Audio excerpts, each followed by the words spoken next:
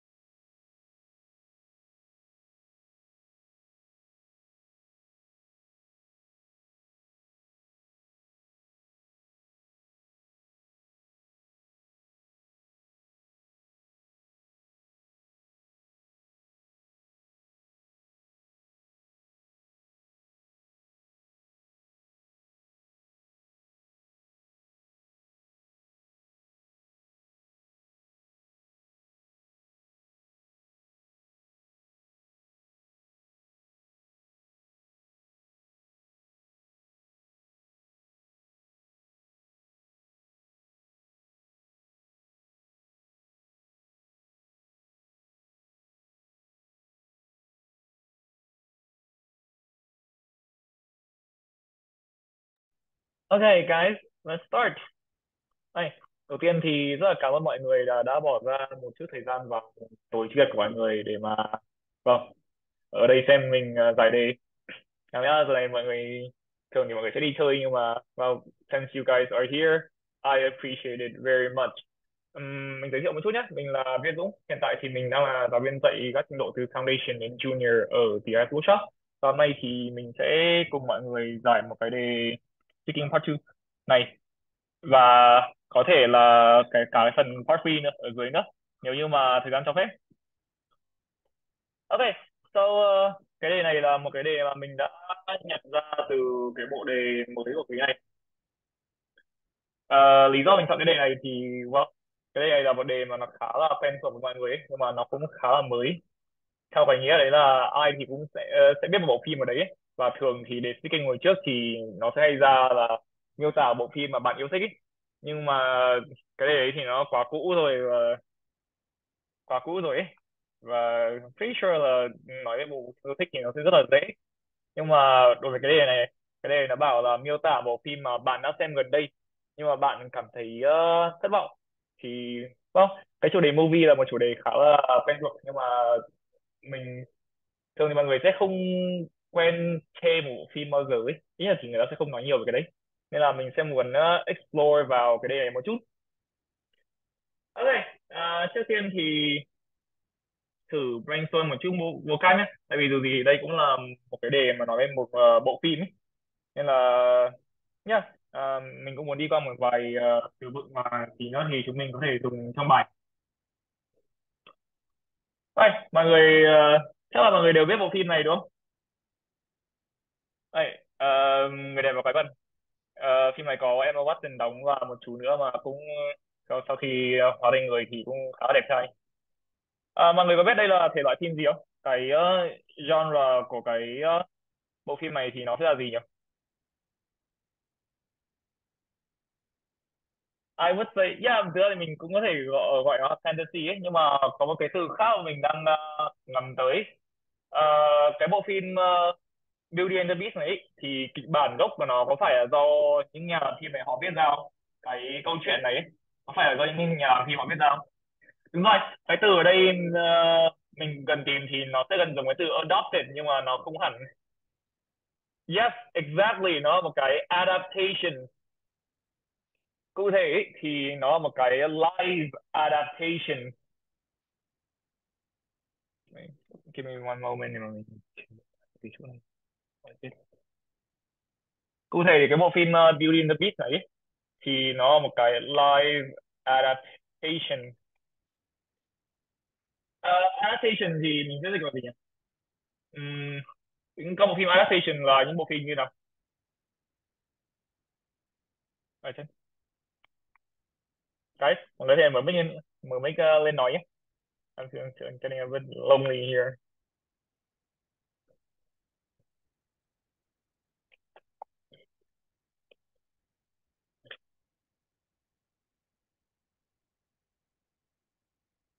Yes, exactly. Adaptation là một bộ phim chuyển thể. Nó có thể được chuyển thể từ một cuốn tiểu thuyết, hoặc một câu chuyện uh, ngụ ngôn nào đấy. Còn uh, live adaptation là phim chuyển thể mà do người đóng. Thường thì cái bộ phim nào mà nó do người đóng thì nó sẽ là a live movie, người ta dùng từ live để miêu tả nó.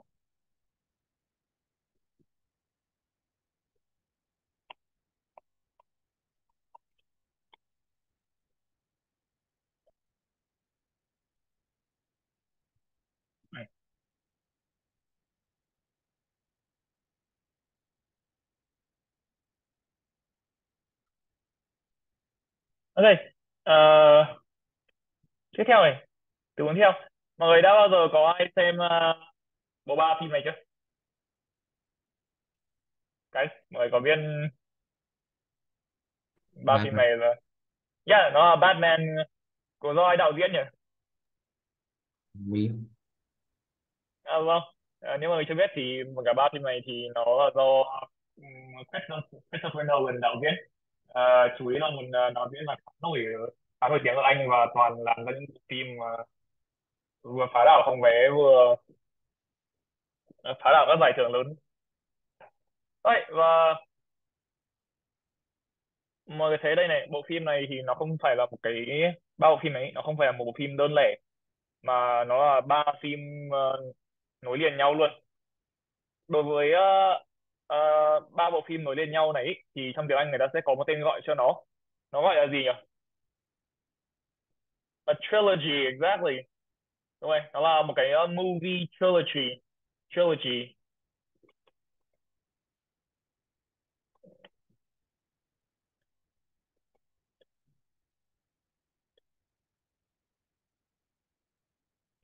Uh, cả ba phim này ấy thì người ta sẽ gọi nó là một cái movie trilogy là một bộ ba phim. Thế còn uh, các cái phim riêng lẻ trong cái trilogy này thì sao? Chẳng hạn nhá cái phần đầu tiên là Batman Begins cái phần thứ hai là The Dark Knight này cái phần thứ ba là The Dark Knight Rises. Ờ, từng cái phần riêng lẻ một trong cái trilogy này thì người ta sẽ gọi nó là gì? Có một từ cho nó. Trong tiếng Anh.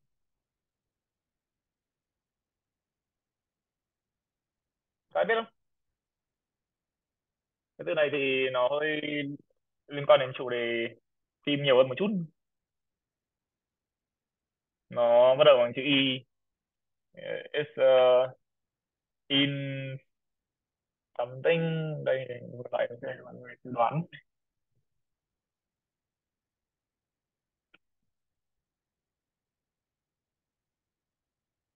Đấy mọi người biết cái từ mà mình ờ, lắp đặt hoặc là cài đặt cái gì đấy không? Kiểu mình lắp đặt một cái máy điều hòa chẳng hạn hoặc mình cài đặt một cái phần mềm gì trên máy tính ấy cái động từ trong tiếng Anh sẽ là gì? Install đúng rồi và danh từ của cái từ này nó sẽ là từ gì? Installation. Installation đúng rồi. À, thực ra thì cái từ mình tìm đây nó cũng là danh từ nhá. Nó cũng có nghĩa à, nó gốc từ của nó thì vẫn vẫn là từ cái từ uh, install ấy. Nhưng mà nó sẽ không phải là installation mà nó là install installment. Mình. Yes exactly. So uh, cái từ installment ấy người ta sẽ dùng để chỉ uh, một bộ phim trong một cái trilogy chẳng hạn nhá. Mình có cái bộ phim đầu tiên này, này. thì bộ Batman Begins này người ta sẽ gọi nó là một cái uh, first installment. Thì như thế cái bộ ở dưới nó sẽ là cái gì installment? Mày cứ trong khi đó rồi đây mình có first installment này thì cái bộ ở dưới thì nó sẽ là cái gì? Cái uh, bộ phim đầu tiên đúng không? Rồi thì nó sẽ đến thứ hai là gì? Second. Rồi second installment và cuối cùng bộ thứ ba thì người ta sẽ gọi nó là cái thứ ba là third. First installment. Đúng rồi. Thì đây sẽ là cách để mà mình gọi các cái uh, bộ phim trong một cái uh, movie trilogy ấy. Mình sẽ gọi nó là những cái uh, installment. Ok. Tiếp theo này. Uh, so anyway nếu mọi người để ý thì đề đề nó bảo là miêu tả một bộ phim mà mình đã xem gần đây ấy một trong những cái từ khóa mình phải chú ý đến ở đấy đấy là gần đây ấy. Thì ờ, uh, với cái này thì mình đã quyết định là mình sẽ miêu tả một uh, bộ phim mà sắp ra rạp. Uh, nó không phải là cái uh, bộ này đâu nhưng mà bộ này thì mình sẽ dùng để mà gợi ra từ gợi ra từ vựng. Uh, mà có biết phim này không?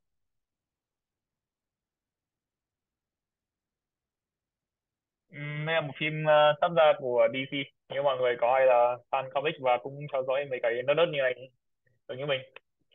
Ờ, những cái phim như này thì yeah, The Flash phim có Ezra Miller đóng và có hai Batman luôn. Có phim mà rất là mong fan DC mong chờ vào hè này và cầu mong là nó sẽ không flop. Nhưng mà với cái bộ phim ờ, như thế này thì người ta sẽ gọi là phim gì nhỉ? Ờ, Thường thì những bộ phim như cái bộ The Flash này nó, nó phát hành cái studio lớn nhá. À, nó lại là về một những cái nhân vật trong uh, truyện tranh rất là nổi tiếng như này ấy. Người ta sẽ kỳ vọng là nó sẽ phá đảo phòng vé và doanh thu của nó sẽ, sẽ lên đến uh, trăm triệu đô là với tới được tỷ đô la với tới được tỷ đô la ấy. Và nó sẽ được uh, công chúng đón nhận một cách rất là rộng rãi. Những cái bộ phim như thế thì người ta sẽ gọi là gì? Bộ phim mà kiếm bội tiền cho các ờ, ờ, studio làm phim. Và người ta kỳ vọng là nó sẽ rất là hot. Ờ, những cái bộ đấy như thế thì ờ, có một từ để mà chỉ những bộ phim như thế trong tiếng Anh. Nó sẽ là gì nhỉ? Anh còn nhớ. I'm sorry? Box office đúng rồi. Ờ, mình có thể bảo là một cái ờ, box office hit ý, nhưng mà vấn đề là nó chỉ là box office hit sau khi mà nó đã công chiếu ấy. Và nó thực sự thành công ấy. Còn The Flash thì nó chưa công chiếu nên là uh, không ai biết là là nó có thành box office hit hay không. Nhưng mà cái từ mình cần tìm thì nó sẽ là một từ nó là dùng box office hit nhưng mà nó sẽ để chỉ nó có thể dùng để chỉ một bộ phim mà vẫn ờ, chưa công chiếu ấy. Blockbuster exactly. Oh, blockbuster là phim gì nhỉ?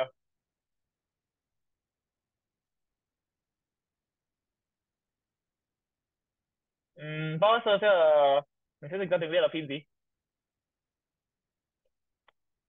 Phim bom tấn đúng rồi. À, tuy nhiên thì mình có thể mở rộng cái cụm uh, blockbuster này lên một tí nhé thường thì những bộ phim uh, bom tấn đúng không? Sẽ được người ta rất là mong mỏi đón chờ ấy. Kiểu người ta rất là muốn đón nhận những cái bộ phim này ấy. Có một cái từ gì mà để chỉ cái gì đấy đấy là cái bộ phim bom tấn này thì nó rất là được người ta uh, mong chờ và đón nhận ấy. Potential là có tiềm năng không ạ? Ở đây thì mình đang tìm một cái cụm mà nó là một cái ờ, uh, collocation ấy. Nó một cái collocation đi kèm với từ poster luôn. Và nó sẽ là một cái uh, topic vocab của chủ đề phim ảnh. Mời có ai xem uh, phim nhiều không?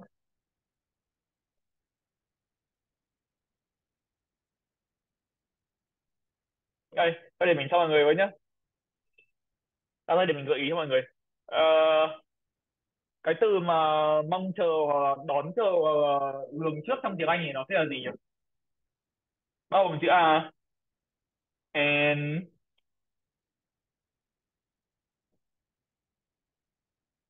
and anticipated đúng rồi. Nó anticipate và cái tính từ ở đây ở trước đây thì nó sẽ là anticipated.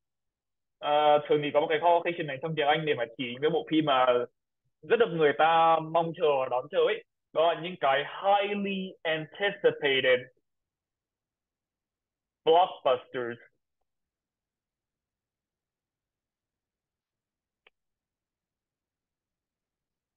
Thì là những bộ phim, những bộ phim bom tấn mà người ta rất là mong chờ.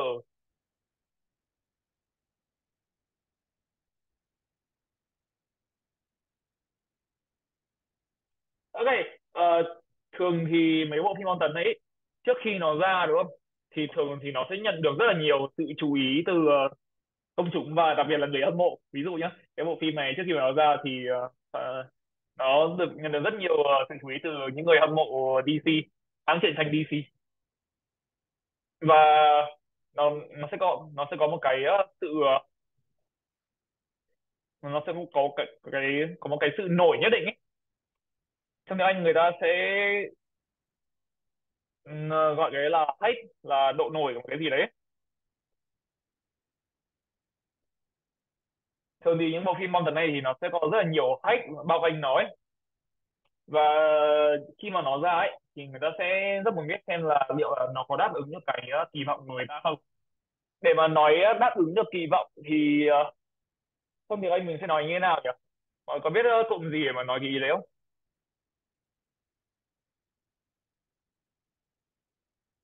Meet the demand là đáp ứng cái nhu cầu ở đây thì mình đang cần tìm tìm một cái cụ mà nó còn cụ thể hơn thế.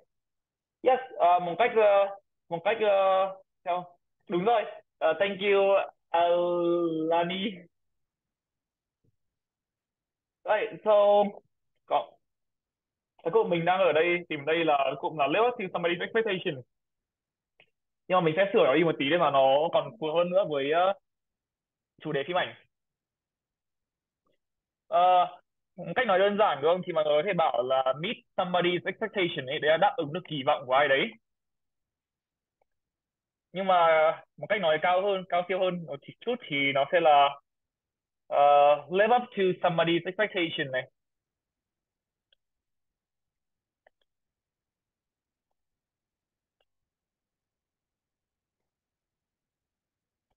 Nhưng mà một cách nói uh, sát hơn nữa, với cái chủ đề phim ảnh ấy, thì mọi người có thể nói là live up to the hype.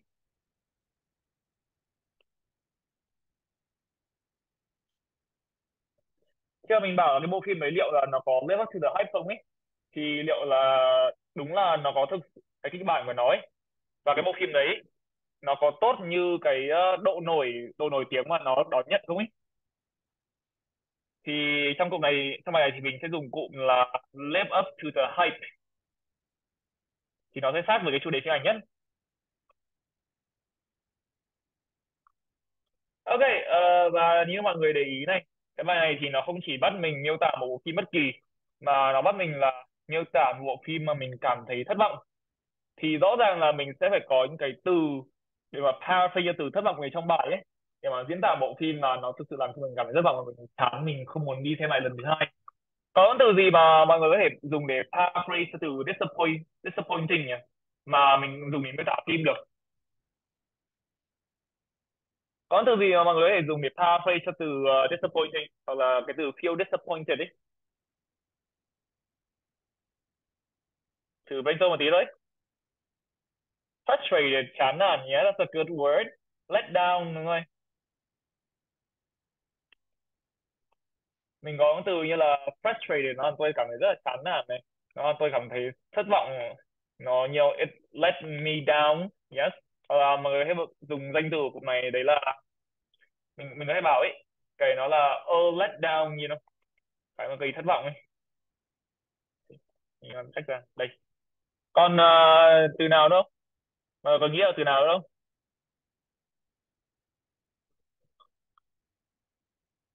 Thực ra thì là mình thì mình sẽ dùng uh, uh, thêm một số từ nữa. Để mà chỉ ý là cái này thực sự nó nó rất là chán ấy nó gây thất vọng ấy mà có thể dùng từ một cái từ đấy là lackluster. Ai biết từ này không nhỉ?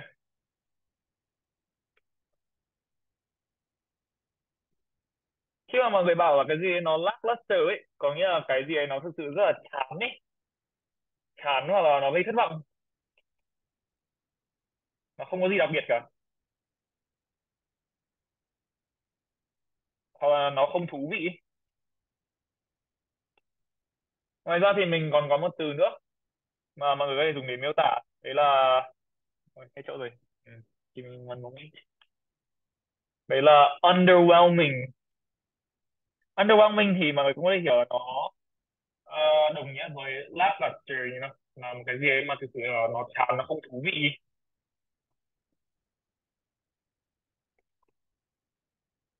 Và là gây thất vọng cho mình ok uh, thôi thôi uh, bây giờ thì uh, chúng mình vào bài vào nhé um, why up to the high là gì? yes Why up to the high là gì? Cũng là ờ, up to the cái câu lie up to the high cũng nó nghĩa là gì? Ờ, có thể hiểu nó bằng uh, năm nay là đồng nghĩa với mấy cụm ờ, trước ý Ờ, trong bài này thì mình sẽ dùng nó với nghĩa là đáp ứng được kỳ vọng kỳ vọng hoặc là mong đợi của, của mình ấy. Có thể dùng nó với cái nghĩa như thế này. Trong bài thì mình sẽ dùng nó với nghĩa như này. Và nó sẽ là, là, là đồng nghĩa với hai cụm trước đây là hai cụm này. Thế còn let somebody let somebody down là sao? Let somebody down có nghĩa là làm ai để thất vọng nhé. Uh, let somebody down là làm uh, ai đấy thất vọng này. Còn uh, a let down thì là danh từ ở cụm ở trên. A let down là một cái một cái gây thất vọng.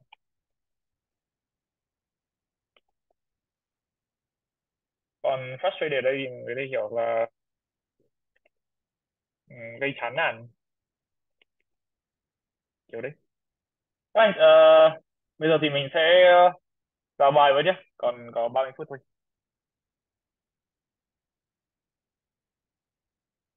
Đây à, ờ, giờ này gần đây mọi người có ra rạp xem phim gì ờ, mà mọi người thấy chán không? Kiểu cảm giác rất là chán và thất vọng. Ừ. Có ai ờ, xem phim của Mar- Marvel không?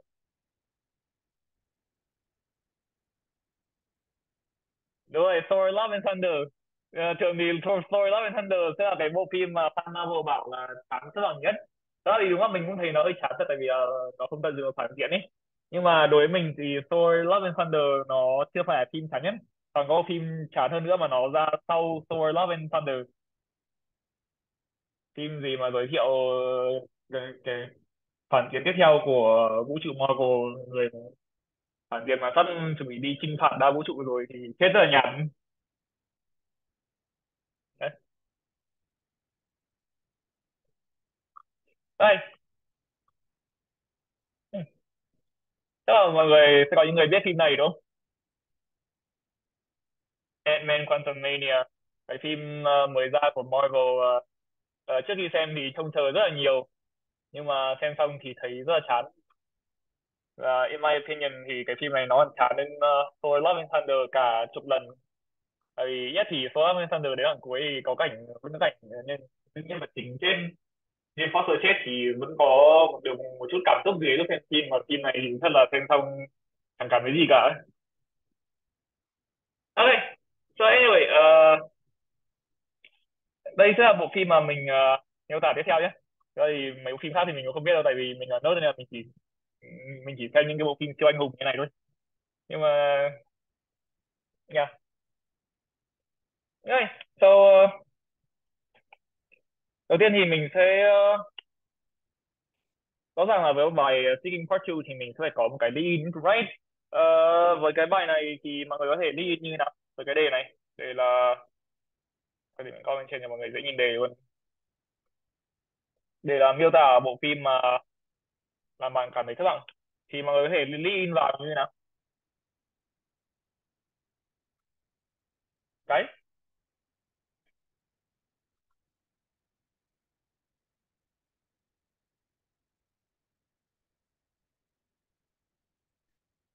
ừ, ai đấy uh, hãy nói gì đấy đi. So anyway uh, một trong cách duy nhất để mà mọi người dẫn vào một cái uh, đề picking part 2 ấy. Nhất là khi mà nó là một cái đề mà nó có thể chủ đề khó chẳng hạn hoặc là gì đâu một cái đề mà mình không có nhiều ý để nói lắm hoặc là một cái đề mà mình kiểu hơi unfamiliar với nó ấy thì một cách rất là dễ mà người đi in vào ấy. Thế là mọi người sẽ nói qua một chút về bản thân mình ấy. Sau thì từ cái đấy thì mọi người mới bắt đầu dẫn vào dẫn vào cái mà mình sẽ nói trong bài. Nên là với cái bài này nhá thì maybe mình có thể nói như thế này. So mình sẽ nói một chút về bản thân mình này. Phần này là phần mà mình talk about myself nhé.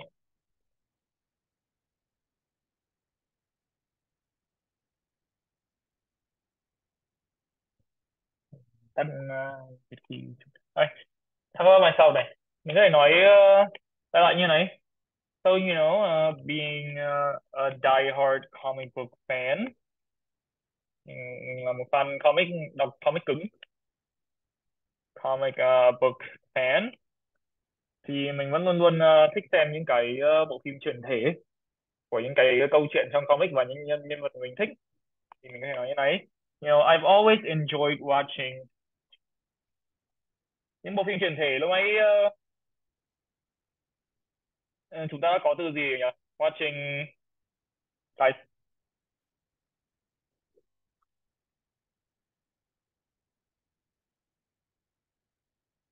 Okay. Uh, mình có thể nói là I've always been, I've always enjoyed watching the live adaptations. Live adaptation mình luôn luôn thích xem những cái bộ phim truyền thể của những cái câu chuyện và nhân vật mình yêu thích trong comic. Comic. I've always enjoyed watching live adaptations of my uh, favorite uh, comic book. I think comic book có but my favorite stories and uh, characters Rồi thì sau khi mình nói uh, về bản thân mình xong đúng thì mình sẽ có cần phải có cái đoạn gọi là đoạn mà bắt đầu lái về cái uh, câu hỏi ấy. Lái về cái mà mình đang định nói đến trong bài này thì đây sẽ là cái đoạn mà mình chuyển này. Mình sẽ transition sang cái ờ, bài mình nói đến. Transition to the question. Thì đối với câu chuyện thì mọi người có thể nói như này. You know that's why I that's why I always go to uh, the cinema. To uh, see uh, the latest latest. I take oops. The latest uh, Marvel movie releases. Thế sẽ là câu để mà mình nói về à, để mình lái về câu hỏi nhá. Và bây giờ thì mình bắt đầu lái về cái uh, bộ phim mà định mình định miêu tả rồi ấy. Và sau khi mà mình đã có câu chuyện rồi thì ờ, uh, yeah, mình sẽ nói ra cái uh, chủ đề mình định miêu tả nó sẽ là gì thôi. Just uh, say the topic. Câu này sẽ là câu mà mình giới thiệu cái mình định nói, introduce the topic.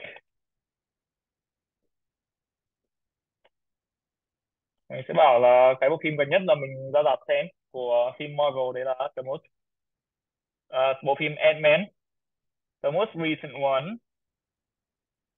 uh, being Ant-Man and the Wasp Quantumania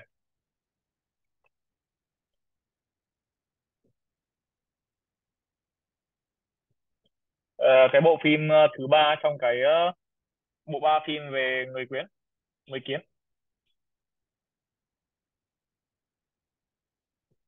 The third installment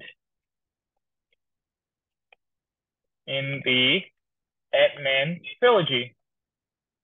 Đây tháng từ mà chúng ta đã brainstorm ờ, uh, ngày trước.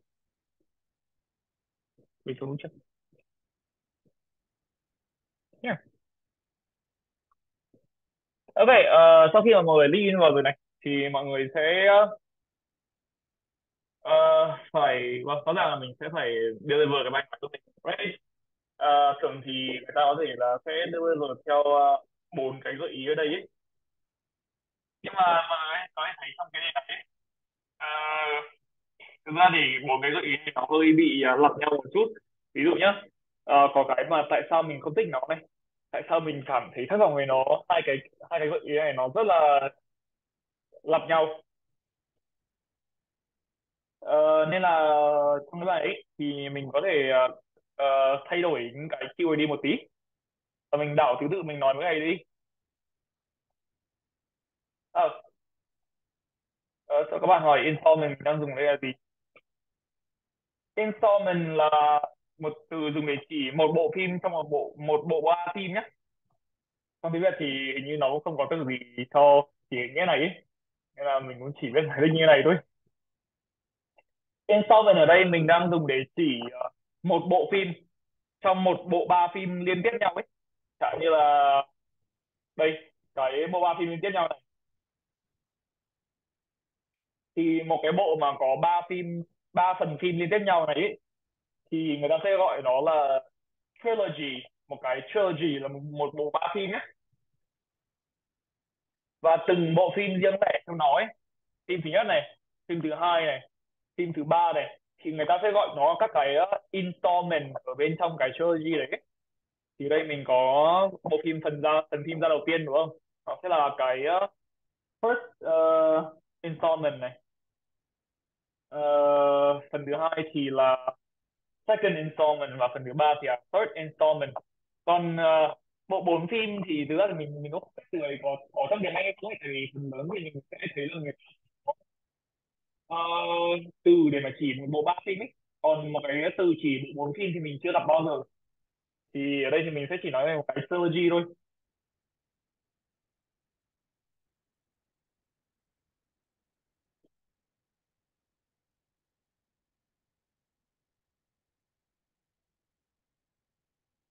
Ok, so anyway, uh, như mình đã nói lúc nãy thì mọi người có thể thấy ở đây trong cái bài này những cái gợi ý của cái đề này nó rất là trùng, nó rất là lặp nhau và thậm chí có cái cái gợi ý như như là cái mà mình xem nó vào lúc nào ấy. Thưa thì cái này chỉ cần nói đúng một câu là xong thôi ấy. nên là ở đây thì mình sẽ phải uh, đi phát triển bài của mình ở bên ngoài cái này một tí tại vì là mấy chiêu ở đây thì nó không có gì nhiều để khai thác cả nên là lúc mà mình nói thì mình sẽ sắp xếp tiền thể thì mình sẽ sắp xếp lại thứ tự của mấy Q này luôn để cho để cho tiện nói. À, thỉnh thoảng có gì vậy à? à sorry guys chắc là do kết nối mạng đấy. I don't know why nhưng mà mình đang ngồi cạnh cục wifi rồi ấy. Và wifi ba vạch sóng rồi nhưng mà không hiểu sao nó vẫn bị yếu thế. Chắc là các bang biển vẫn chưa được sửa. Nhưng mà sorry guys. So uh, anyway.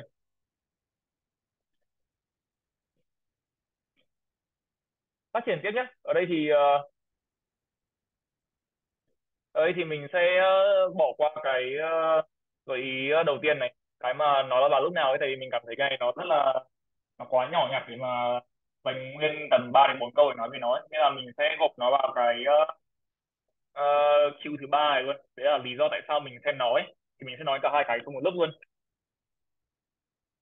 so uh, why you decided uh, to watch it?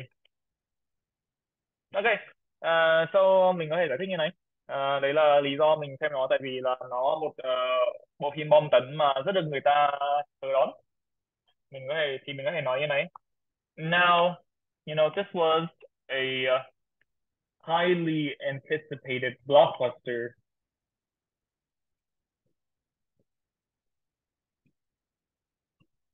this was a highly anticipated blockbuster. Đây là bộ phim bom tấn mà rất là người ta mong chờ. Và tại vì là cái bộ phim này thì cũng là bộ phim đầu tiên mà giới thiệu uh, phản diện mới của vũ trụ Marvel luôn. Uh, and it featured the uh, introduction of Ok, đây ở đây thì mình đang muốn nói ý là bộ phim này thì nó là bộ phim giới thiệu một phản diện uh, trong một series phim ấy. Có từ gì mà mình có thể dùng để mà chỉ ý là phản diện? Cái mọi người có biết từ gì không? Hello? Mọi người có biết từ gì để mà chỉ phản diện trong bộ phim không? Yeah, uh, ở đây thì mình có thể dùng từ villain ấy, nhưng mà mình nhớ mình muốn chỉ một cái phản phản diện mà còn dễ hơn là một siêu villain bình thường thì còn có từ gì đâu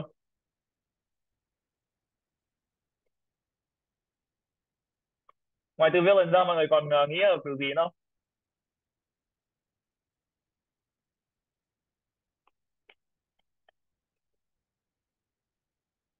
super villain yeah. I'm gonna involve the, the next uh, super villain of the Marvel universe. Yes mình có thể thêm uh, từ uh, super ở đây để mà nghe cho nó đáng sợ một tí.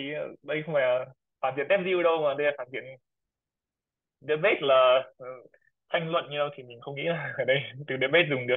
Yeah đúng rồi có một từ mình hay dùng đấy là super villain này. Hoặc là ấy, có một từ ờ, mà người ta hay dùng để nói ờ, trong những cảnh phim nhé đấy là ai đấy là một phản dùng để chỉ phản diện rất là to ấy. Kiểu kiểu Thanos hồi trước trong phim Marvel đấy là Big Bad ấy. Cái này nó một cái uh, slang nhé cái slang trong tiếng Anh. Cái uh, cụm tiếng lóng trong tiếng Anh. Người người ta dân xem uh, phim ở Mỹ người ta sẽ gọi là Big Bad là phản diện kiểu tầm cỡ rất là khủng ấy. Yeah, mình thể bảo là đây là bộ phim mà bom tấn mà được người ta rất là mong chờ ấy. Tại vì nó uh, nó có cái sự giới thiệu của phản diện uh, phản diện rất là to tiếp theo ở trong vũ trụ Marvel in the uh, MCU. Uh, à, Kang the Conqueror đây là tên của phản diện mà mình nhớ trong phim. Đây nó hơi, đây nó hơi nớt một tí. Uh, sorry guys, với những ai mà không xem uh, mấy phim siêu anh hùng như thế này. And the uh, Quantum Realm. Trong cái bộ phim uh, Ant-Man the Wasp đấy thì người ta còn giới thiệu cả một thế giới mới ấy. Cái nó gọi là một cái uh, Quantum Realm cái vũ trụ uh, vũ trụ mà phải thu nhỏ lại thì mới vào được ấy. cái vũ trụ rất là mini you know uh, microscopic universe underneath our own rồi và không cần phải nói này uh, needless to say tại vì là mình là team mình là fan của Marvel nên là mình cực kỳ háo hức hoặc là cực kỳ uh, mong chờ để được xem bộ phim này. Có ai biết cái cụm nào dùng để miêu tả cảnh như thế không? Thế là mình rất là háo hức và mong chờ để mà làm cái gì đấy. Thậm chí có thể háo hức và mong chờ đến chết luôn ấy để mà làm được cái gì đấy. Thì mình sẽ nói là gì? Yes phiên bản dễ thì mình có thể nói là ten wait nhưng mà có một cụm mà để chỉ cái mức độ háo hức mà nó còn uh, hơn cả thế. Thế là mình háo hức đến chết luôn để mà làm được cái này xem được cái này ấy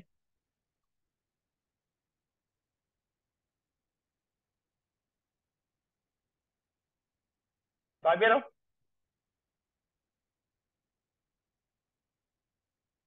Mọi người có thể nói đấy là I'm dying to do something.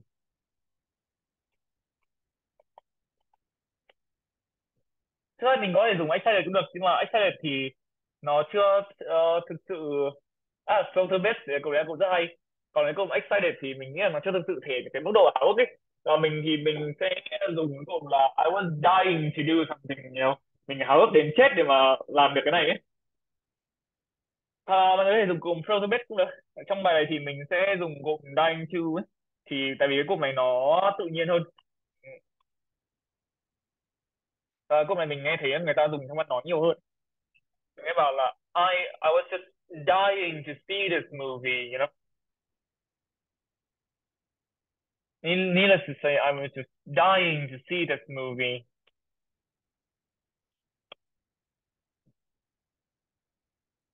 Uh, để mà xem được xem là cái giai đoạn tiếp theo của những bộ phim Marvel thì nó có một cái gì xảy ra ấy. So that uh, I get a glimpse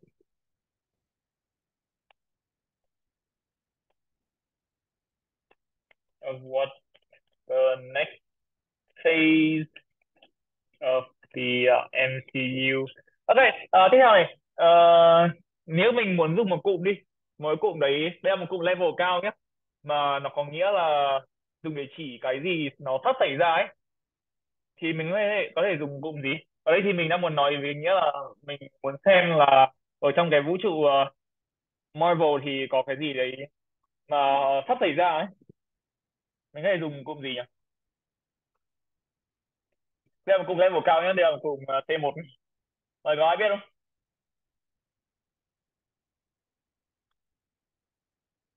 Ok mọi người upcoming là một cụm nhưng mà nó upcoming thì nó chưa level nó chưa đủ cao đúng không? Cụm này nó sẽ bằng nghĩa với upcoming. À, mọi người biết ai biết từ cửa hàng trong tiếng Anh là gì không?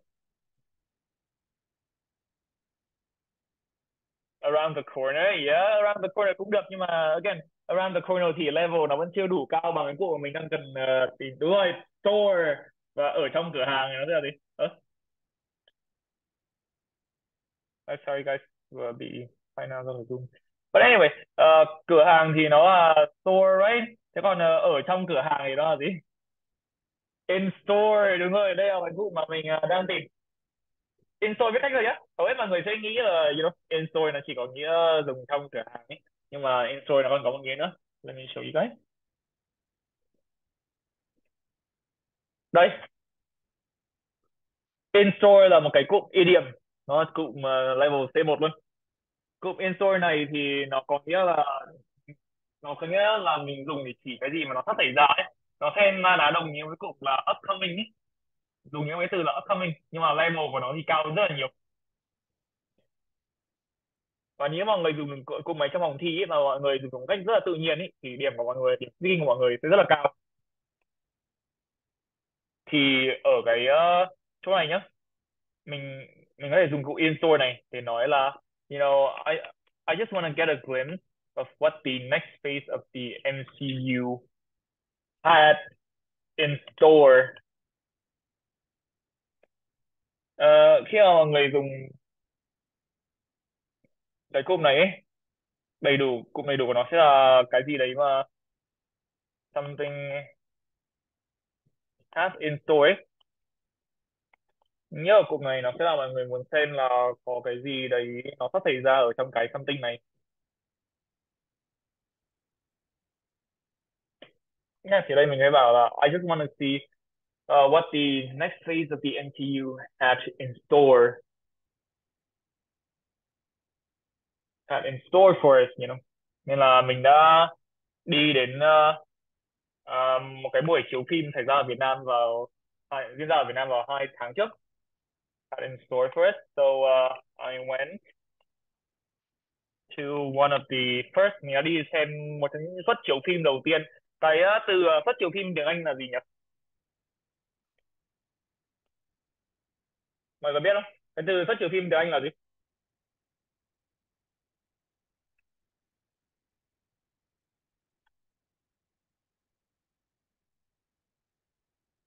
Đấy. mọi người biết uh, từ xuất chiếu tiếng Anh là gì không? Hoặc là một buổi chiếu phim.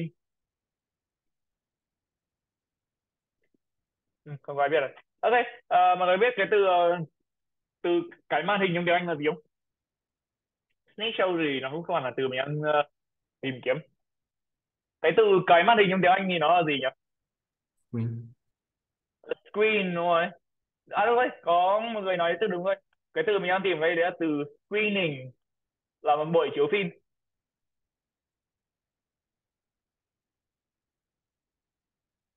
So I went so I went to one of the first screenings in Vietnam two months ago. Đây là mình đã đi xem một cái buổi chiếu đầu tiên ở Việt Nam hai tháng trước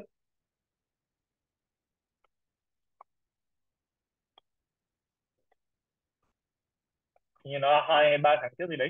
Mình không nhớ chính xác lắm. Two months ago. Đây trong cái uh, phần này thì mình sẽ gộp luôn hai Q đấy vào. Cho bài đó mượt hơn rồi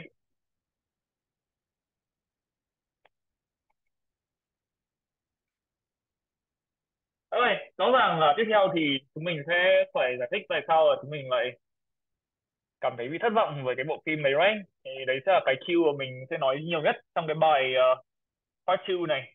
Why you didn't like it hoặc là why you were disappointed by it. Thì hai Q này thì nó cũng là giống nhau thôi nên là gộp nó vào một cũng được.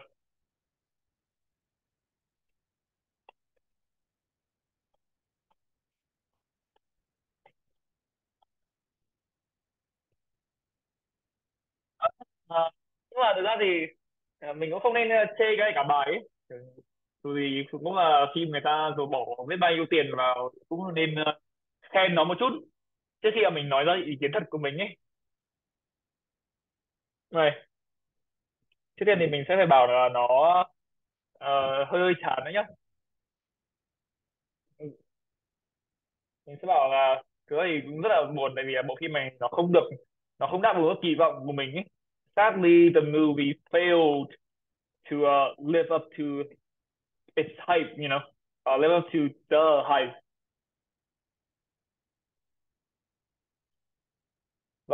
Thì nó rất là chán. And it it turned out to be utterly lackluster, kỳ chán. And uh, it turned it turned out to be utterly uh, có thể dùng extremely uh, dùng nhau cả. Extremely lackluster. Nó cực kỳ chán luôn ý đây uh, sau khi là mình nói câu này xong thì mình sẽ khen cái bộ phim này một chút này. Gọi là gọi là để mà mình kéo dài cái bài nói này này đấy với cả cũng là để ném thêm một chút uh, vocab để khen vào luôn ờ, thì ấn tượng người giám khảo một chút. Đây mọi người có biết uh, cái uh, cụm từ đấy nào mình có thể dùng để mà dẫn vào một cái phần ấy? Mà mình không thực sự đồng ý với nó. Trong writing task 2 thì thường thì nó sẽ có ấy. Thế là mọi người sẽ viết là cái body một thì mọi người là cái ý kiến mình không đồng ý nhá rồi ờ, mình viết mình viết là ừ thì công nhận thì cái này nó cũng đúng ấy. Đúng rồi, nó từ admittedly. Thường thì mọi người có thể dùng từ admittedly ấy. Nhưng mà cái này thì dùng trong writing hợp hơn, còn trong speaking ấy người ta sẽ có một cụm khác để mà thay cho cụm admittedly mà nghe nó tự nhiên hơn và cả ngữ người ta cũng sẽ hay nói hơn ý. Với cụm uh, idiomatic expression khác mời có biết có ai biết đó là gì không? Kiểu một chữ tờ rồi. Có ai biết không? Mình sẽ bảo là don't gì mọi người có thể nói là don't get me wrong nhé. Don't get me wrong you know thì ở đây thì nó cũng đã bằng nghĩa với ờ, cụm admittedly ờ, ấy. Thì mọi người đang công nhận là ừ thì cái này nó cũng đúng một tí đấy. Uh, don't get me wrong you know. Ừ, thì cái bộ phim này nó cũng có vài cái uh, điểm sáng ấy. Những điểm uh, vất vát có ai biết cuối cùng là điểm vất vát trong tiếng Anh nó là gì không? Có cái phẩm chất gì ấy mà nó cứu vãn uh, nó vất vát cho cái bộ phim đấy? Có ai biết không? Yeah, uh, một trong những cụm mình dùng có thể là redeeming feature, đúng, đều còn rất là tốt. Uh, mình thì mình dùng một cụm khác mà cũng uh, bằng nghĩa cụm redeeming feature này luôn. Yeah, don't get me wrong, you know, uh, the movie had some redeeming features. Yes, đây là một cụm mà có thể dùng. Mình thì mình sẽ dùng một cụm nữa cũng đồng nghĩa với cụm này luôn. Nhưng mà đây là một cụm rất là tốt. The movie had some uh, redeeming features. Yeah, thank you. Uh, còn một cụm nữa mà người có thể dùng nhé. Nếu mà người không nghĩ ra đấy thì đó sẽ là cụm saving graces thì nó cũng đang nói bằng nghĩa với uh,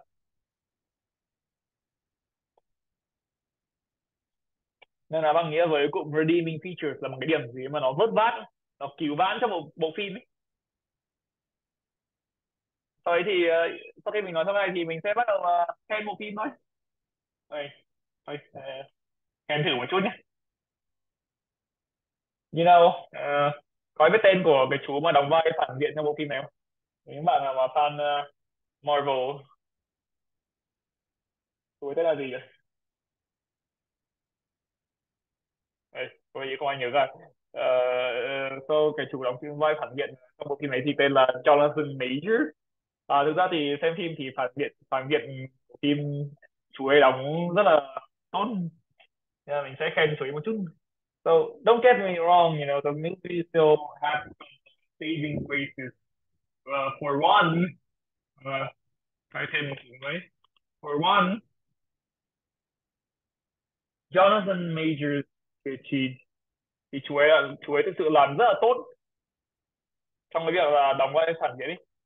Có cùng uh, điểm ấy phát triển tiếng Anh có nghĩa là uh, có nghĩa là làm rất là tốt là gì nhỉ? Có ai biết không? Cái gì mà liên quan đến công viên ấy? Cái câu này nó sẽ có từ công viên trong đấy. Mình có thể nói là knock it out of the park nhé. Trong câu này thì mình đang dùng chỉ từ đây mình sẽ phải chia. Uh, you know Jonathan Major completely knocked it out of the park. Uh, as the movie's villain. Uh, Jonathan Major cái chú diễn viên ấy thì chú ấy đã thực sự đã làm rất là tốt đấy trong cái việc là chú ấy đưa lên cái màn ảnh rộng ấy uh, when uh, bringing to the màn ảnh rộng tiếng Anh thì là gì nhỉ?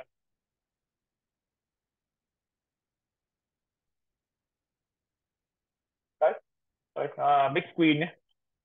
Uh, when bringing to the big screen such a layered villain. Với thực sự à, rất là tốt. Khi mà mang đến cho màn ảnh rộng một cái à, phản diện mà có chiều sâu như thế. Thế thì uh, mình có thể nói một vài câu để mà khen người ta uh, à, tại vì đây mình có cái ý chính rồi thì mình nên phát triển sau nó một chút. Khi mà chuyển sang cái ý đằng sau.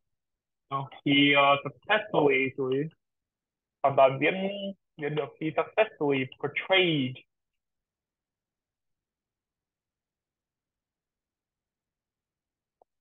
a power hungry tyrant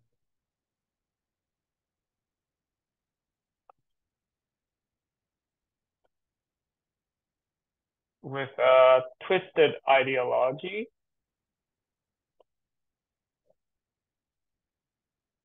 and a thirst for revenge.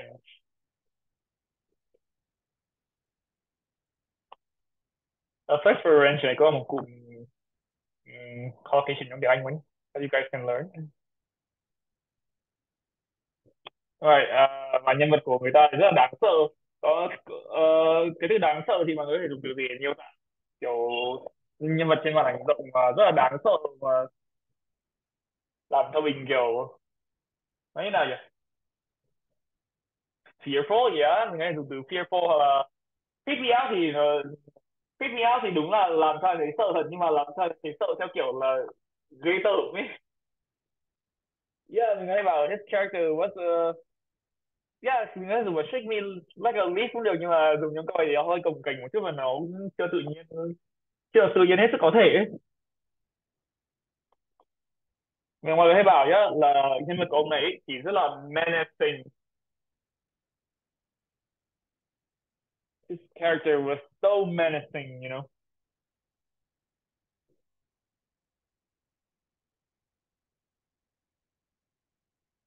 His character was very menacing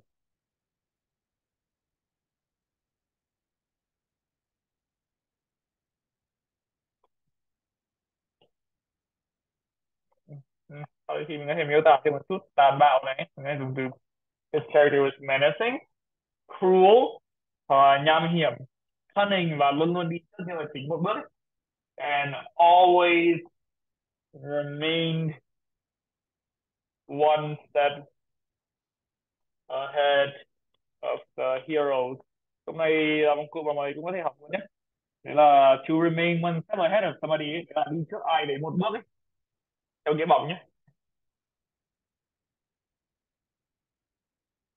Vậy uh, sau đấy thì mình cũng có thể khen thêm một cái điểm nữa. Bộ phim đấy là một bộ phim thì kịch bản rất là dở tệ nhưng mà nhất thì uh, đồ họa phim còn nhìn còn đẹp mắt tí. So mình hay bảo là you know the stunning world building. And đồ họa and graphic and graphics were another highlight. Đó một điểm sáng ấy trong phim ấy. Mình hay dùng từ highlight you know rồi, sau đây thì mình sẽ nói nó một chút thôi. Thôi cái này thì nó hơi nớt một tí là mình sẽ đi qua nhanh nhanh. So the quantum realm. Cái thế giới trong phim ấy nó uh, xây dựng rất là xây dựng, xây dựng rất là sặc sỡ ấy, với màu sắc rất là sống động ấy. Thì mình sẽ bảo là you know the quantum realm was a world with lavish and vibrant colors uh, với rất là nhiều nền văn minh mà nó rất là viễn tưởng hoặc là phải rất nhiều nền văn minh mà nó rất là viễn tưởng ấy. Cái từ viễn tưởng cho anh thì có từ gì mà mình có thể nói được nhỉ? Về để mình diễn tả về ý là viễn tưởng ấy mà nó như như thể nó trong tương lai ấy.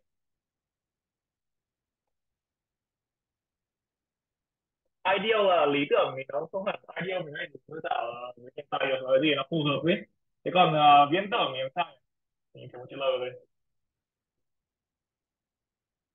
mọi người hãy dùng từ futuristic nhé imaginary thì nó là tưởng tượng ra nó cũng chưa ở đây thì mọi người hãy dùng từ futuristic cái từ futuristic này thì nó nghĩa là cái gì à, nó rất là viễn tưởng ấy tưởng chừng như nó công nghệ tới từ tương lai ấy. Okay. With many uh, futuristic uh, civilizations and tribes. So, và cảm giác như bộ phim thì nó có một cái ờ, cảm giác rất là giống truyện tranh ấy, giống rất là giống comic book. Nghe bảo là nhiều there was this this uh, comic book feel. Bình thường thì mọi người hay dùng từ feel với nghĩa là động từ right? Nhưng mà khi mà mọi người dùng từ feel với nghĩa là danh từ ấy thì nó là một từ vựng level cao hơn rất là nhiều. Từ feel ở đây mình có dùng mình cũng dùng với nghĩa là cảm giác gì đấy thôi. Nhưng mà level của nó thì cao hơn rất là nhiều. Như đây là từ level C1 nhưng mình nhớ không nhầm. There, there was this whole comic book feel. Uh, nhá mình có thể bảo là khoa học có một cảm giác khoa học viễn tưởng nữa. Thì có thể bảo là there was this whole comic book and sci-fi feel throughout the movie.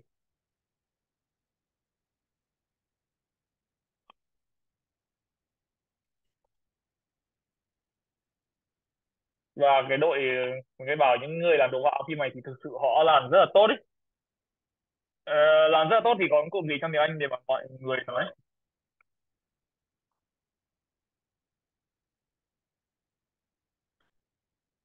Mình, mình khen này này làm rất là tốt thì uh, mọi người có thể nói là gì? Excellent in at yeah. Còn từ gì nữa nhỉ? Uh, đó là một cái uh, idiomatic expression một chút.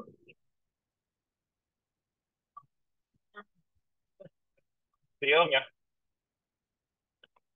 Mọi người có thể bảo là outdone oneself nhé. Cho mọi người cái này là you have outdone yourself. À, cụm do them justice là một cụm rất hay cụm ấy chắc cần điểm mình sẽ dùng. Nhưng mà bây giờ thì chưa đến lúc dùng cụm đấy. Nhưng mà thank you Lan Nhi. Thì thì Lan Nhi có thể giúp mình giải thích cụm này nhé tại vì cái cụm này nó không có cái cụm do them justice ấy. Tại vì cụm này trong tiếng Việt thì thực sự không có cụm nào bằng nghĩa với nó cả nên là giải thích nó hơi khó một tí nhưng mà anyway nếu mà mọi người khen ai đấy là người ta làm rất là tốt đấy. Mọi người có thể dùng cái cụm này nhé đấy là out out you have outdone yourself hoặc là outdone oneself ấy. Cùng gốc của nó thì sẽ outdone oneself là khen này là làm cực kỳ tốt luôn ấy. Thì mình mới bảo là the visual effects team had really outdone themselves. Rồi uh, khen xong rồi thì thôi đến bước chê thôi mình mới bảo tuy nhiên đúng không thì đây cái bộ phim này thì cái, cái, cái công thức kịch bản đó cũng rất là đại trà ấy. However, you know, they could not elevate the movie. Người ta không thể nâng tầm bộ phim được ấy. Elevate the movie beyond the rồi sau thế là mình dùng mình sẽ dùng một cụm nhé cụm này thì nó hơi khó một tí nên mình sẽ cho mọi người luôn này uh, cookie cutter đây uh, ờ, cụm này mọi người nhìn vào mọi người suy nghĩ nó là uh, theo kiểu là cải cắt bánh quy đúng không nhưng mà cụm cắt đời ông tiếng Anh ấy nó còn dùng để chỉ một nghĩa nữa uh, cắt đường là một cái gì mà nó rất là đại trà ấy nó theo công thức và nó không có gì là nguyên bản của nó cả Vậy thì mình sẽ ghi lại nghĩa cho mọi người sau nhé. À đây, ghi luôn. Cái bộ phim này nó không nhà xuất thì họ không thể nâng tầm bộ phim vượt qua cái ờ, kịch bản nó rất là đại trà và công thức ấy. Theo công thức và nó rất là dập khuôn của dòng phim cho anh hùng ấy. Thế là lúc nào cũng ném một đống câu đùa vào coi phim chả có ý nghĩa gì cả.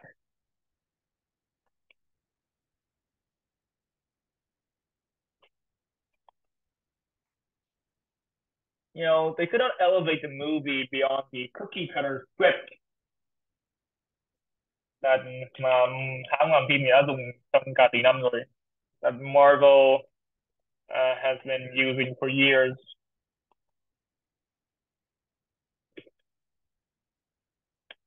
Vậy, và như bảo bộ phim này thì tràn đầy mấy câu đùa kiểu nó rất là nhạt nhẽo và nó hấp hĩnh mà nó khó khó mình ấy. Nhưng mà nhiều khi thì cảm giác nó rất là bị gượng ép you know the movie was inundated bộ phim nó bị tràn ngập những cái câu đùa như thế.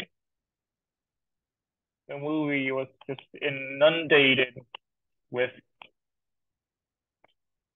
những cái câu đùa mà hợm hĩnh này with uh, snarky and câu đùa nhí nhảnh quirky jokes và khiến cho mình cảm thấy rất là không không khỏi không thoải mái ấy.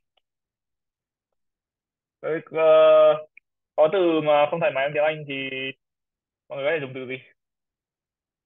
Nếu mình muốn diễn tả cái ý là mình cảm thấy không thoải mái khi mình xem cái phim ấy kiểu bị khó chịu upset là yeah upset thì cũng được nhưng mà upset thì nó là thiên về hướng là kiểu mình bị buồn hơn ấy.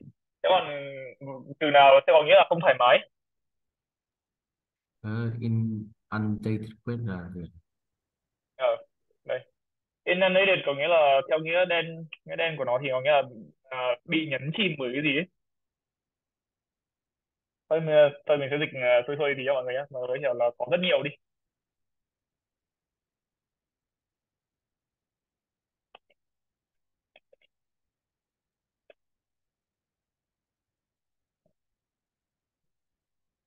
Đây ờ, uh, cái từ khó chịu thì mình có thể dùng từ gì? Mới trả nhỉ? Miêu tả nhỉ? Ngoài từ upset ra. Mình có thể dùng từ cringe. Irritated thì có nghĩa là Yeah, đúng rồi, irritated, irritated thì có nghĩa là khó chịu nhưng mà cái từ mình đang tìm ở đây là từ cringe you know? nó nghĩa nó vừa có nghĩa là kiểu ai đấy người ta bị khó chịu người ta cảm thấy không thoải mái ấy. Kiểu cảm thấy hơi creepy một tí. That made me cringe. Uh, sometimes. Mình cảm làm cho mình cảm thấy rất là cringe cảm thấy rất là khó chịu và không thoải mái một chút nào cả. And you know, và một một cái bài câu đùa thì cảm giác rất là gượng ép and some of it uh, just felt very forced.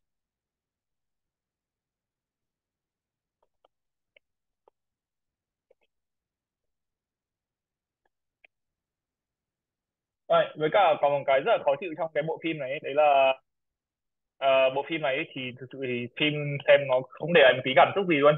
Thường thì trong mấy bộ phim đúng không? Ờ, đến cuối phim đi có nhân nhân vật chính chết hay gì thì người xem người ta còn cảm thấy là buồn kiểu đấy. Nhưng mà phim này thì đến cuối thực sự là chả có gì cả ấy. Kẻ, kẻ xấu thì bị bị đánh bại rất là dễ và sau người tốt thì về nhà sống hạnh phúc may may mà nó chẳng để lại cho người xem cảm xúc gì ấy. thì mình hay bảo cái rủi cái phim này nó thực sự không có một tí rủi ro cao nào luôn. You know there were also uh, no high stakes in the movie. High stakes ở đây thì mọi mọi người có thể hiểu là rủi ro cao nhé.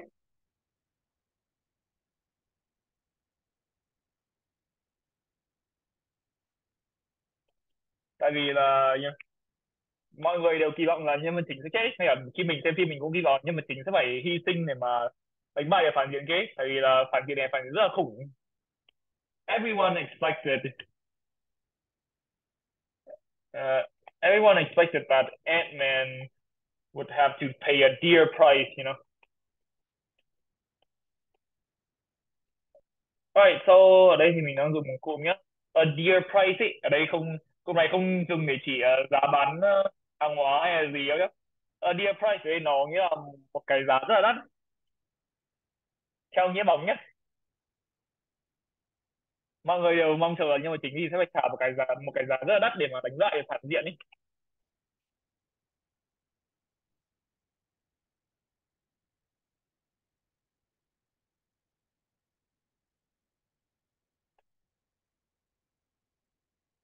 Everyone expected Ant-Man uh, would have to pay a dear price uh, for defeating for defeating Kang.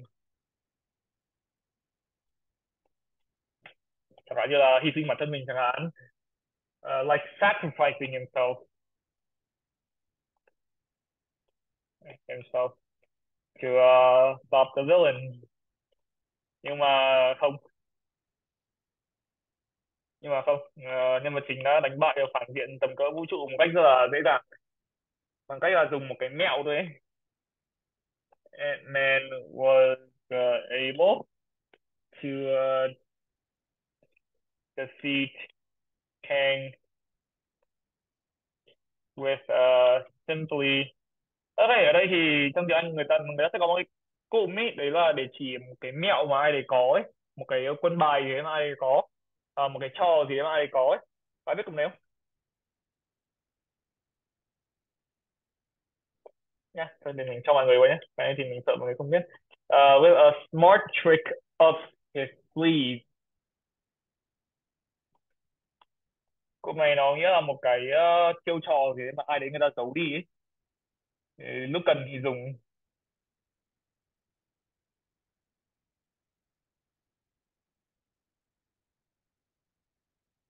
Và sau khi họ về nhà và sống hạnh phúc mãi mãi về sau bộ phim kết để lại cho người xem rất là nhiều cảm xúc I'm being sarcastic of course up this slip là Yes. chiêu trò gì ạ?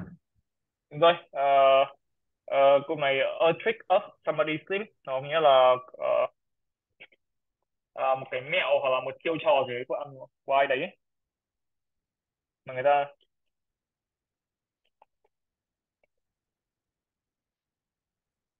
mà người ta giấu đi ấy. Nếu cần thì họ sẽ dùng.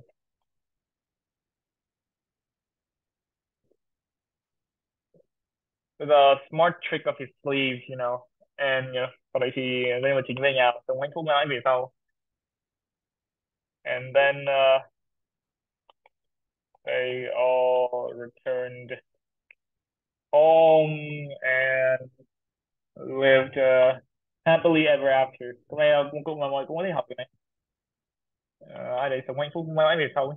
Đấy, cái đây thì người ta hay dùng để mà kể chuyện trong ngụ ngôn trong tiếng Anh. And they just live happily ever after. Và you know cái điều này nó khiến cho cái phần cao trào của bộ phim ấy nó rất là đáng quên.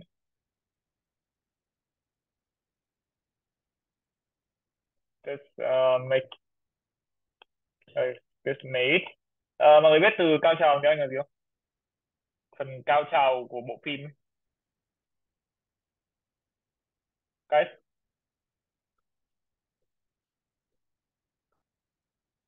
uh, start with C ok thôi để mình cho mọi người nhé. This may be climax. Climax này mọi người hiểu là cao trào nhé.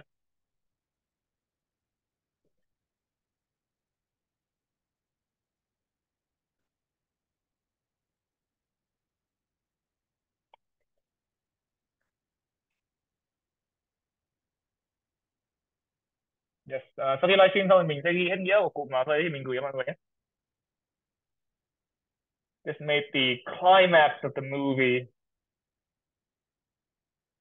Sự rất là chán ấy nó điều khiến cho cái phần cao trào bộ phim nó thực sự rất là chán. The climax of the movie.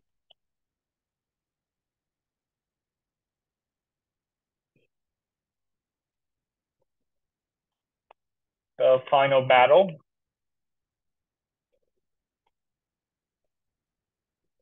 So underwhelming and forgettable you know, nó thực sự rất là underwhelming ấy. ở trên thì mình đã dùng từ lackluster ở bên ở dưới mình sẽ dùng từ underwhelming nhé.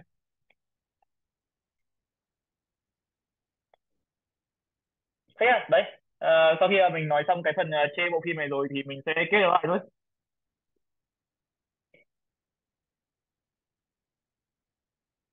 Rồi, tôi mình phải kết lại rồi nhé. À, mình vào cuối ngày thì ấy. Thì ờ, mọi người cũng có thể học cụm này nhá. Cái cụm át tiên ở đây này nó, nó có nghĩa là cuối cùng thì ấy. Cuối cùng thì bộ phim này nó thực sự là bộ phim rất là chán và cảm thấy hơi hơi tốn tiền ờ, ra rạp xem một chút.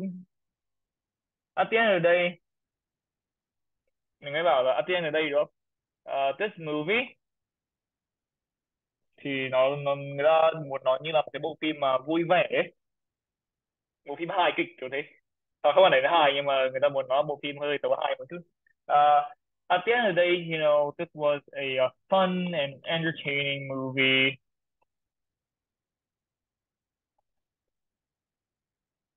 Ờ, uh, meant mà người ta chỉ làm bộ phim này chỉ làm bộ phim này để mà giới thiệu phản diện thôi. Meant to uh, introduce a new villain rather than uh, hơn là một bộ phim của nhân vật chính ấy. Hơn là một phim của người kiến tại vì người kiến trong vai trò trong phim này thì chả có được một vai trò gì cả. You know và cái sự phát triển nhân vật trong cái bộ phim này thì nó rất là chán ấy. The main uh, characters the main characters uh, development. Thì người ta không thực sự uh, làm tới nơi tới chốn ấy. Ở đây thì mọi người có thể dùng cụm uh, was not fully fleshed out nhé cái cụm out này thì mọi người có thể hiểu là làm từ nơi tới chốn ấy hoặc theo đuổi từ nơi tới chốn mình. Mọi người có thể hiểu nó bằng như cái cụm là to to do something thoroughly ấy làm cách kỹ càng tới nơi tới chốn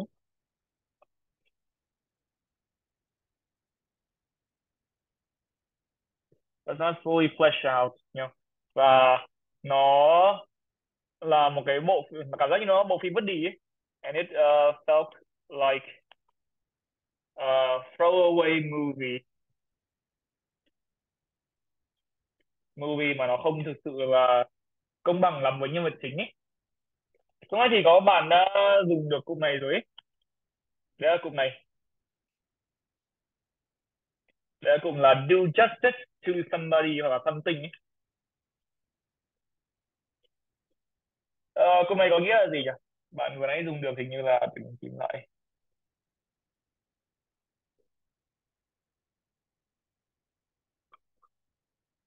Uh, Lan Nhi, can you uh, explain cái cụm uh, do justice này cho mọi người? Lan Nhi, ờ, Lan Nhi còn trong này không nhỉ?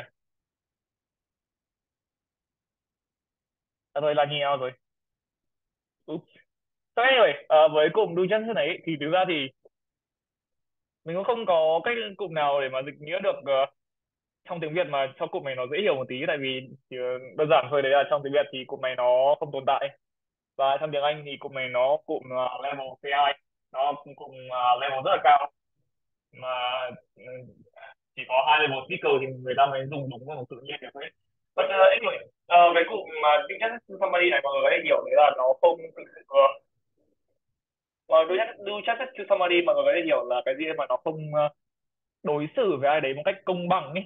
Hoặc là thể hiện cho người ta đúng cái uh, thẩm chất hoặc là à đấy mà người hiểu nhá đấy là do justice to ấy có nghĩa là đối xử với ai đấy một cách công bằng hoặc là thể hiện uh, đúng phẩm chất của người ta ấy ok ok mọi người thể hiểu như thế Sorry guys, câu này nó hơi khó dịch một tí.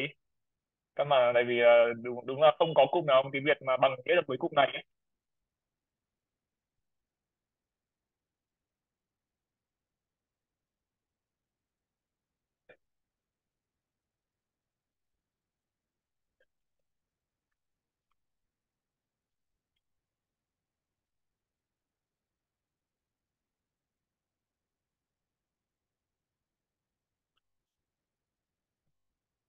Câu này mọi người hiểu là nó nó nghĩa là đối xử công bằng hoặc thể hiện đúng đặc điểm phẩm chất của anh.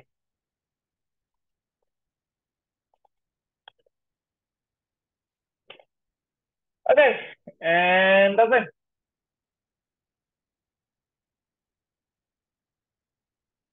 Oh. Ờ, hình như nói mình cần đúng không? Mình cần nói cuối cùng này đúng không nhỉ? Đây tôi nói mình mình có dùng một cụm đấy là power hungry ấy. À, power hungry trong tiếng Anh thì nó nghĩa là tham quyền lực. Nó ở wait, wait, ở đây đây tại chỗ này power hungry. Đó nghĩa là tham quyền lực.